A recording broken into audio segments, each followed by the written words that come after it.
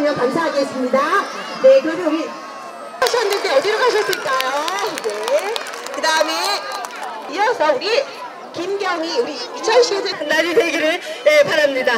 어, 또한 오늘 우리 아이들이 다 어, 참석해 주신 의원님께 예, 진심으로 감사하겠습니다. 자, 우리 네 회장님 감사드립니다. 시장님 참석하셨습니다. 와, 우리 친구들 멋져요. 네, 그 다음에 얘들아. 자, 우선 공무원 아저씨들이 매 밤새워서 이거를 어, 조치를 해서 이제는 깠다고 안 나올 거예요. 아, 덥지만 조금만 미안해요. 참아주세요. 좋은 데 오셨어요. 네, 우리 얘들아 사랑합니다. 어, 네, 잠깐 자리를 보셨었는데 오늘 우리 우리 안전 체험할 수 있도록 이렇게 자리도 준비해 주셨대요. 우리 네, 자, 한번 얘기하고 갈게요. 우리 공연수목은 잘 친구들 우리 이제부터는 너희들이 즐길 시간이에요. 이것으로 우리 마치고.